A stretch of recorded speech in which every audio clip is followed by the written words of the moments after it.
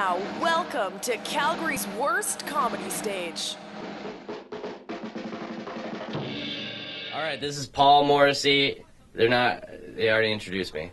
Uh, I feel like I'm doing a radio show from the 1920s. Is this War of the Worlds? Is this? All right. No, I have a message for Canada. I love Canada. I love everything about you, but I, I'm worried about this whole penny thing. I heard that you got rid of the penny, and I think you're going after the wrong, uh, the wrong piece of coin, if that's a word. Uh, because pennies, all they ever did is make your dreams come true at the wishing well.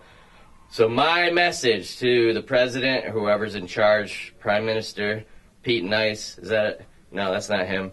Uh, please, uh, I say bring the penny back and get rid of the nickel.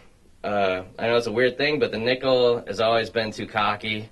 Twice as big as a dime, worth half as much. I don't like it at all. I don't like the attitude. So get rid of the nickel, or at least Nickelback, one of those two, if you can do that by the next time I come here. Thanks.